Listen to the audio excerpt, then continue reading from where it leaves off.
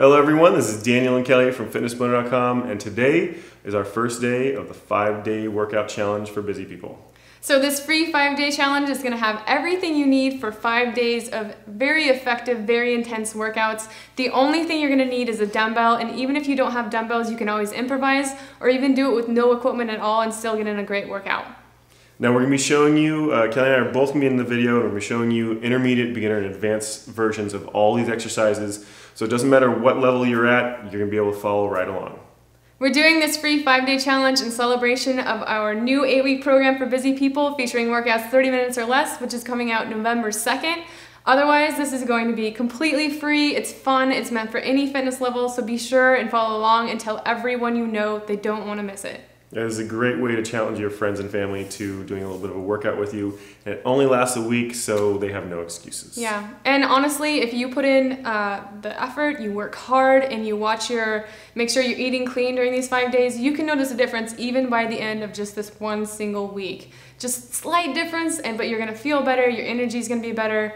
It's totally worth it. Just, I dare you to try it. So without any further ado, let's get started with our first day. So we're gonna be going through strength and HIIT in this. So we're gonna be getting a little bit of everything through your entire body. Let's go ahead and get started. All right, everybody, let's go ahead and get started with our warm-up. Going to get those feet moving in a boxer shuffle. We're doing each one of these for 25 seconds straight through. No breaks, we're just moving right into the next one. So we're doing boxer shuffle right now. Our next one is going to be a high knee jack. So this is a pretty quick, efficient warm-up. If you've been moving around throughout the day, this is going to be enough. If you've been sitting at your computer for hours upon hours, you might want to do a little bit more of a warm-up. So we're keeping these nice and quick for the 30-minute program. All right, All right so high, knee jacks. jacks. Bring one knee up. Arms move just like a regular jumping jack. It's just you're bringing one knee up at a time. Start with a relatively limited range of motion. Start trying to bring that knee up higher and higher. Starting to move a little bit faster as well. Got warrior lunges coming up next. About five seconds. Two, one, right. All right, down, kind of a push up. Come up for your lunge. Go back down and then switch feet. Now, if you have trouble going down into a full plank position, then you can do this off on the edge of a bed or a chair to bring yourself up a little bit higher, It makes it a little bit easier. Otherwise, all the way down on the ground to get a little more range of motion. All right, what's next? All right, we got walk, walk down, down, back bows. So walk out with those hands, down flat, arms and legs come up, and walk back up. Again, this is another really difficult one. If you have a lower strength upper body, or lower strength in you your upper body. to your knees. You can either go off your knees or again, bend your knees when you're walking down. Right, two front kick taps. So kick, kick, tap down, go up on the other side. So this is a big one for balance. If you need to, you can hold on to a chair, countertop, wall, whatever you need to to make yourself feel more stable. You can always move slower than we do or faster. Mm -hmm. You can always limit your range of motion also. So if you have bad knees, just don't go down quite so low. Alternating lunges. So it's a traditional alternating lunge, nothing fancy. Just step out and back up. Again, step out only as far as is comfortable. If you want a limited range of motion, that's fine. Or if you want to make it harder, the further you step out, the lower you go, the harder it gets. Just a few more of these and we'll move into squats. All right. All right, so regular squat, feet just about shoulder width apart. Squat down as low as is comfortable, right back up. Again, limit that range of motion if you need to.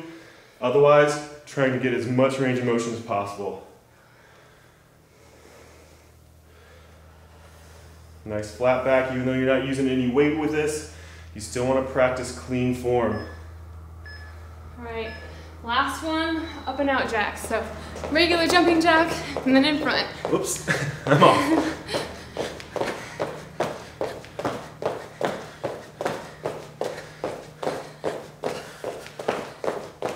you want to make this low impact, all these exercises just take out the jumping. So just step, just break it down as simple as you can if you need low impact. Oops. Oh, that hurt. All right. All right, so- keep those feet moving again. We're gonna be moving into the next section here in just a second.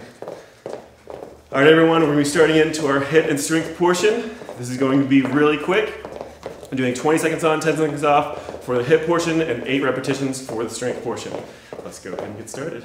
All right, so first up, we're doing a kick up plus a lunge. Daniel's gonna show you the easier version. Stick with me for the harder version.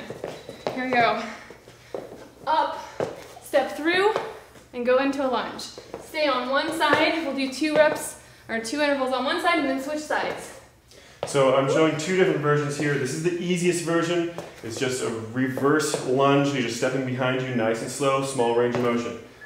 I'll show you the other versions here in just a second. So right back into that boxer shuffle. Keep those lungs open. Three seconds. All right, same leg. Here we go. All right, so intermediate version is down. Kick those heels together. Step back into that lunge. Kick those heels together. Step back into that same lunge, same leg, and then switch. So kick those heels. Now on the other side. So two and two. So for this harder version, the ultimate goal is to try to kick up and go directly into the lunge without putting your foot down. So it's a big challenge on balance. All right, that's two down. We got two more rounds to go. We're switching So- sides. Keep focusing on that range of motion. So again, the easier version is just a step back lunge, a reverse lunge. If you want to make it a little bit harder, then you go down, tap those heels, then into that reverse lunge.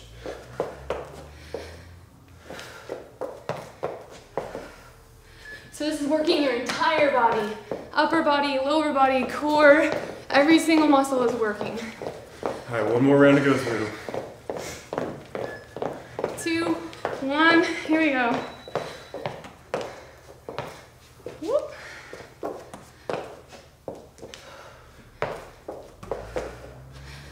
Every time you do that lunge, try to make sure that upper body comes straight up and down. Two, one. All right. Let's keep moving again. All right, that was the end of our fourth. So that means we're moving into our strength portion. We're gonna be doing deadlifts for this. We're only doing eight repetitions, only one set, so pick the heaviest weight you can. All right, so I'm going really nice and light since I'm showing the easier version. I've got uh, 24 pounds per hand, 48 total. But whatever you're lifting is going to be specific to your own strengths. That's right. So here we go. So I'm only using 15 per hand. Nice flat back, slight bend in those knees, down as low as you can go, right back up again. If you don't want to use weight, that's perfectly fine. You don't necessarily need it. But if you want to get a little more muscle development, you want to use as much weight as you can control. Here's our third one. So since we're doing eight repetitions, you should be picking a weight that makes those last few reps, number six, seven, and especially eight, very difficult to complete. But if at any point your form starts to suffer, you want to lower your weight or drop it altogether. Is anyone counting? That's six. Okay. Yay! One more. All right, next up we have jump squats. All right. So 20 on, 10 off, four times through. Um, pretty brutal exercise. All right. Kelly's doing the harder version. I'm doing the easier version. So I'm not even doing a jump. I'm just dropping down, touching the ground, and coming right back up. If you want to get a little extra work into it, then you're going to drop down, up onto those toes nice and high. Down, and up on those toes to activate those calves just like you would for the jump squat. All right, Backing up, shuffle. one down, three to go. Even during your rest periods, you're never still. Do at least a boxer shuffle. Here we go. Try to land soft. Make sure you're not holding your breath.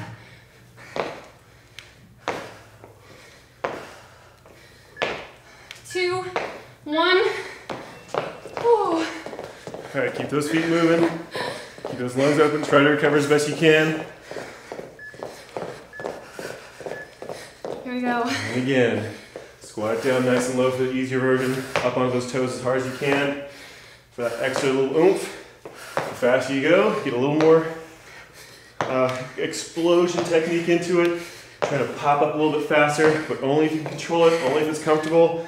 Again, you can always limit that range of motion as far as how low you squat down. All right, that was number three. Yep. One more. One more. All right. Two, one. Here we go. Try to stay explosive, but if you need to, even if you are doing the 100 version, feel free to join Daniel, even for just a second, before you go back in the harder version. And let it relax. Okay. We're going, that was the last one of those, right? So Yeah. we've got our strength exercise, which is going to be an alternating clean and press. So you need a dumbbell for this one, just one. So I'm gonna drop that out. Alright, I'm gonna do 15 pounds. And I'm using 10 pounds for a little bit easier ver- uh, version here. This is all based off of how much weight you're lifting. So if you want it easier, just use less weight. So eight reps per side.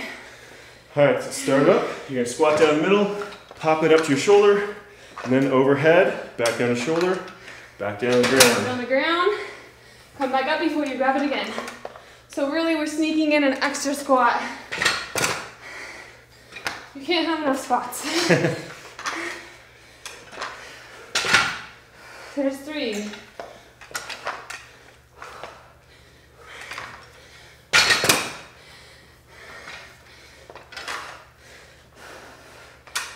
So even if you're using a weight that's really light and easy for you to control, make sure you still get used to that kind of popping motion to get that form down for when you do actually increase weight. Is that seven? That's eight. Halfway done. Remember, like I said, drop the weight if you need to. You want to make sure you're keeping a flat back, perfectly flat back the entire time. You're driving through with those legs rather than with that back. And then at the top, once you get it up to that shoulder in that rack position, then you're to use those legs again to pop it the rest of the way up.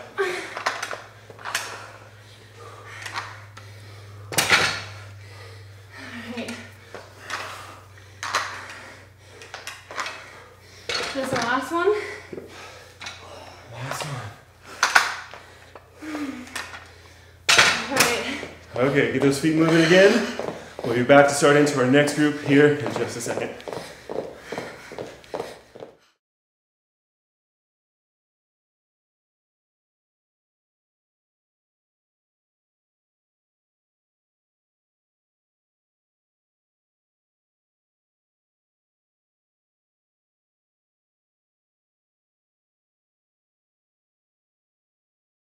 All right, let's go ahead and get started with the second half of this strength and HIIT routine. Is our last portion, then when we're done with these next three groups, we're going into our cool down. So let's go ahead and get started. Our first exercise is going to be a sumo to ski squat. So Kelly's doing the harder version again.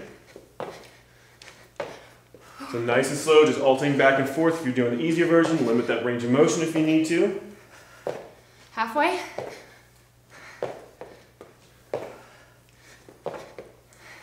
Three, two, one. All right, one down, three to go. Back in that boxer shuffle, never stop moving on those uh, pauses, on those breaks. Three, two, one. Start it up. Feet together, feet apart. Again, remember to try to land nice and soft.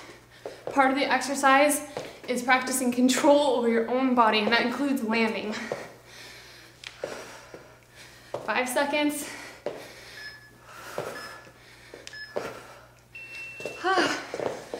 so you might be noticing by now, we're gonna be well under 30 minutes, but the legs are already toast. Here we go. I know I felt it in my legs during the water break. Yeah. You have to be careful to stretch out really well today. 10 seconds left.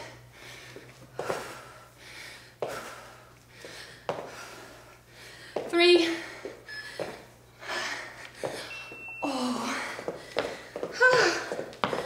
Those feet moving as best you can. Lungs open. Pushing that range motion at speed as much as is comfortable. Here you go. Last one. Try to make it all the way through, but take a break if you need to. 10 seconds.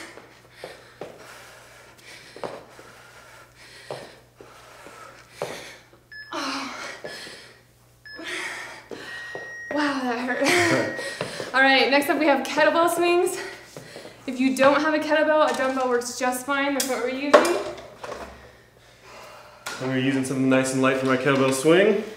If you don't have a weight, that's perfectly fine. You can just kind of mimic the motion You still get a good work through those legs as well. Ready? Mm-hmm. Doing 25. Here we go.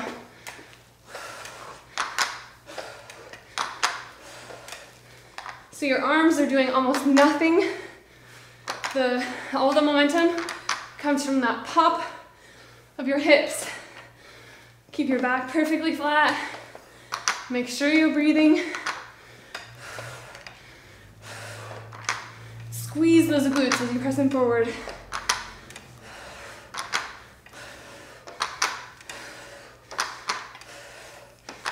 You want pretty much all of this coming from those legs. Your upper body just kind of moving along with the motion of the momentum from that kettlebell or that dumbbell. You're kind of using those legs those hips to kind of drive that motion forward. You're not really using your shoulders to lift those arms at all. Okay.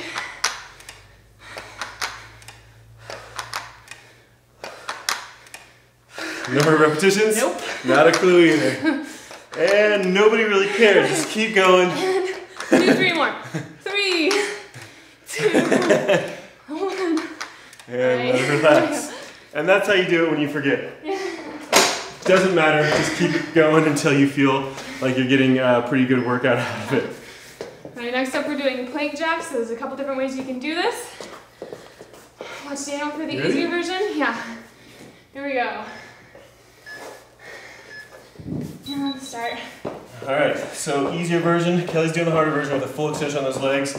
The easier version is actually just gonna be walking those knees in and out. So you're actually using your weight off of your knees, just walking them in and out. If you wanna make it even easier, go up to a full extension of those arms. That elevated range of motion will make it just a little bit easier for you. Ay, ay, ay. So this is definitely the difference between working out like you need it and mindlessly plugging away on a treadmill for hours at a time. This is definitely way more effective. Such a more efficient use of your time and energy. And honestly, you're gonna get way better results than you would on any clunky piece of clunky piece of gym equipment.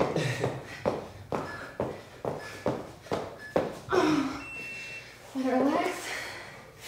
We don't even have gym membership, uh, gym memberships anymore. We haven't for quite a while. You don't necessarily need them to get a really good workout in. Here we go.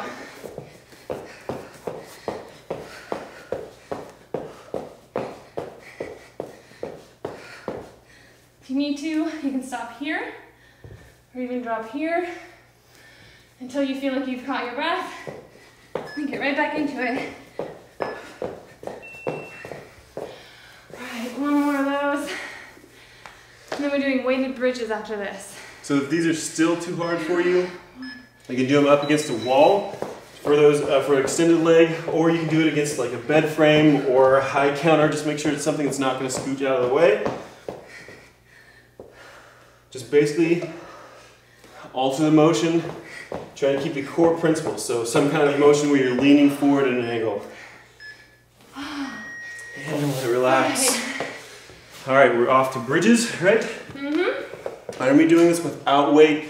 Kelly's gonna make it a little bit harder for herself by actually using the dumbbell with it. Uh, whichever way you prefer, it doesn't really matter, just whichever one you wanna challenge yourself with. Cross over you. Yep. Alright, so if you're using weights, put them right about hip bone level if you've got two, otherwise just right in the center. Bring those heels in as close as comfortable. Ready? Press into those heels and squeeze them up. Nice tight squeeze at the top, slowly back down. Keep a little bit of a hover at the bottom. Don't actually let it touch. And then right back up.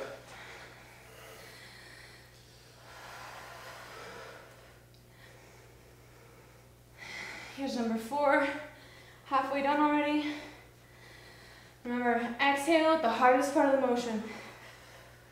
Remember, because we're doing so few repetitions, try to push yourself as hard as you can each time. Two more.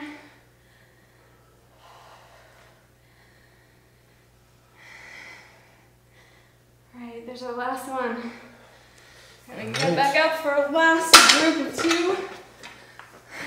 Got it. All right, get back into that box boxer shuffle. You don't have to put those weights away. We're starting into those last group, like Kelly said, doing a two high knee switch foot. two ahead, switch foot. Two So, knee switch foot. One, two, switch. So this is just as fast as you can move. And obviously, I'm doing a lot slower because I'm doing the slightly easier version. You just do whatever is comfortable as far as control goes. You can always speed it up as you become more comfortable. You can always squat down lower as you become more comfortable. All right, back to that boxer shuffle. One down, three to go. Just keep those lungs open. Two, one. Remember, if you want to make it harder on those legs, stay lower. Bend your knee a little more, go into a deeper lunge.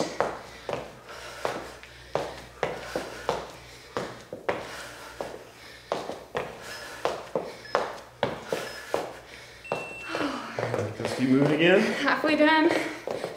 We're so close. Almost there. Two, one. There we go. Just because I'm going slower doesn't necessarily mean that this has to be easier. Like I said, the lower you squat down, if you want to get really nice and low, try to do that motion really, really low, it's going to make those glutes have to work like crazy to hold that position. So, just whatever is most comfortable for you. One more? Yep. All right, get those feet moving. Nice big full deep breath, try to recover. Three, two, one. Okay, let's try to move quick.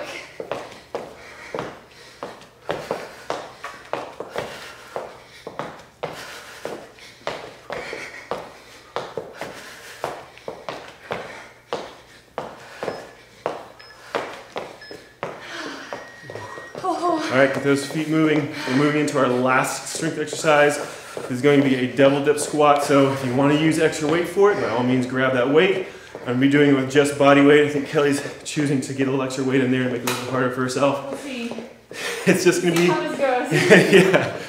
It's just going to be a traditional squat, but when you drop to the bottom, you give yourself a little bit of a pause, do a little bit of a range of motion, like just a couple of inches at the very bottom, and then come right back up again. Make sure it's all very, very slow. Alright, you You ready?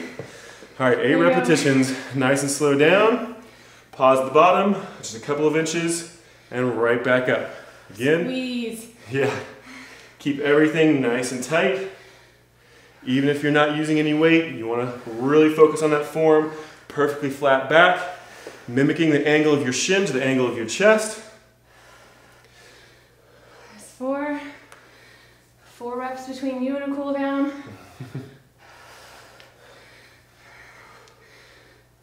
Again, limit the range of motion if you need to, if those hips or knees are uncomfortable with too much of a squat.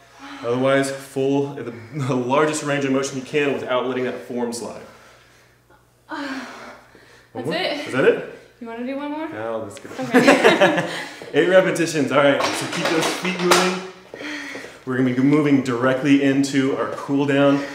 So basically, what we're doing is we're trying to bring our heart rate down relatively slow. That's why we're still moving those feet a little bit. Try to let that heart rate drop slowly. Trying to get as much oxygen into your bloodstream as possible. So, you ready? yeah. All right. Let's move into that first stretch. We're gonna do just a traditional straight leg hang. So feet just about shoulder width apart or narrower. Drop straight down. Keep that back flat at first, and hold it. Nice full deep breath. Go ahead and round that back over. Keep stretching down. Well, I didn't have my flat back. That's okay. I'm not paying attention to class. Let's come up really quick for an overhead stretch. Stretch your arms out all the way. Slowly pressing range of motion the entire time overhead. Lean back and forth just a little bit on each side. Really smoothly and gently. One more time. And we'll fold back over. All right, same way down. Stretch out your fingers, everything. Push. And then lean forward, reach for your toes. So if you have to stop right here, that's perfectly fine. Everywhere, everybody starts somewhere different. You have to respect your body and listen to its messages. Never push to the point, especially during stretching, where you're feeling pain. You basically just that. want to go as far as you can while still keeping a straight leg. So quadricep stretch next. Mm -hmm. Standing up straight and tall. If you need to grab hold of something for balance, that's perfectly fine. Grab that toe, pull it, that heel into your butt, pull that knee back behind you. If you can't quite reach your toe, just kick it up on uh, like a chair seat or something like that. Just trying to focus on trying to stretch that leg back behind you, getting a stretch to the, the front of that, that quadricep, the front of that thigh, uh, and a little bit even into the front of that hip. Nice full deep breath. Try to let your body relax slowly. See wobbly leg muscles. Mm-hmm. Me jello legs tomorrow, which we're taking into account. Don't think that you have to skip day two because you're sore from today. You will probably so be sore from today if you've picked a heavy enough weight and pushed yourself hard enough. So tomorrow we'll be focusing on cardio, core, and upper body. But it's going to be another awesome workout, so don't miss it just because you're sore from this. We'll so be sore with you. Get those feet just about shoulder width apart, a little bit wider. We're walking out into a downward dog, so hands about shoulder width. Legs as straight as you can. Keep that chest straight, press down, and then stretch those legs out as you can as they start to loosen up on you a little bit. And feel free to rock back and forth. Just kind of work through the range yeah. of motion. Find parts where you're tense, mm -hmm. tight muscles. We know a lot of stretches can be really, really intense as far as the feeling. So fold one leg under your body and set up so you get a nice core stretch. You're also stretching out your hip flexor, that extended leg.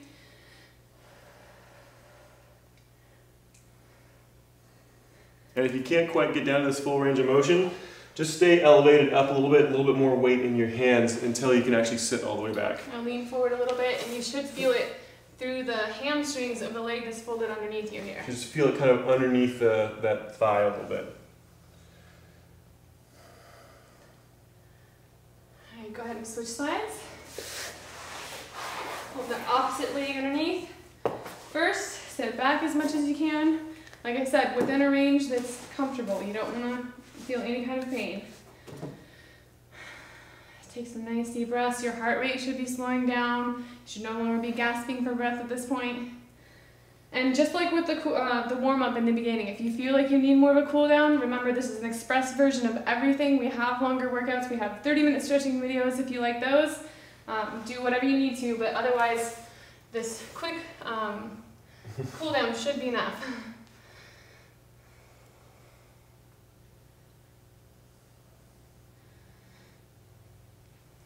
sit like this, do a butterfly stretch.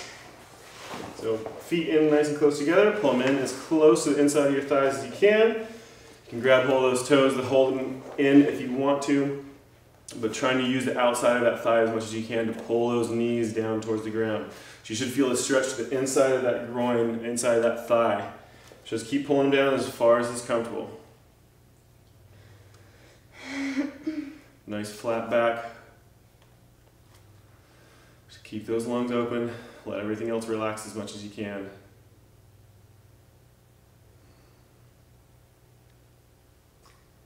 Let's reach for our toes for just a second to stretch out those calves a little bit. So even if you can't reach your toes, pull them up towards you, point them up towards your body, and you're gonna get a good calf stretch through here. If you can, if you have the flexibility, both point your toes towards yourself and lean down towards them a little bit. You'll get a little bit through the back of the legs and deepen that calf stretch. Mm-hmm. Another way to do it if you're really, really tight through your hamstrings is keep your knees slightly bent, roll your toes in towards you, grab those toes, then very slowly start pushing those heels out until you start getting that stretch to that calf or into that hamstring, whichever one you're going for. Whew, my legs are really tight. I did a pretty rough leg routine a few days ago and I'm still feeling it. So my range of motion is suffering a little bit.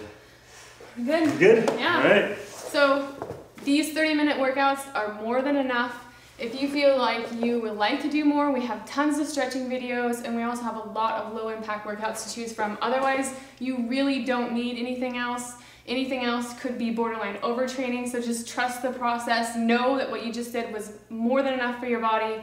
And otherwise, just like I said, stretching and low impact is what you want to stick to. And, and go off of how your body feels. So if you're done with, this, with today's routine and you feel like you could do a little bit more, then you didn't push yourself hard enough in today's routine. Right. You need to go back through and adjust what your maximum level of effort is for each one of those exercises. Because once you're done with this, you should feel completely yeah. spent, like you don't want to do anything yeah, else. So that's the whole point. If you're coming to us uh, in the comments saying, "Hey, this was really really easy," it wasn't us. Yeah. So that means you, you need to check yourself. yeah.